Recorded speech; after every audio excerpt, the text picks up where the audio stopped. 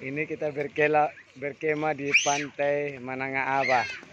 Ini para uh, maintenance dipimpin oleh saudara Jimmy.